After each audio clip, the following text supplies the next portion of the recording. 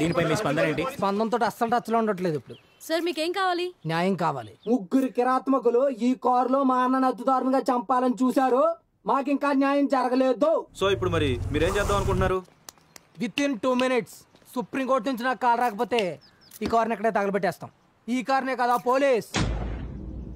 Okay.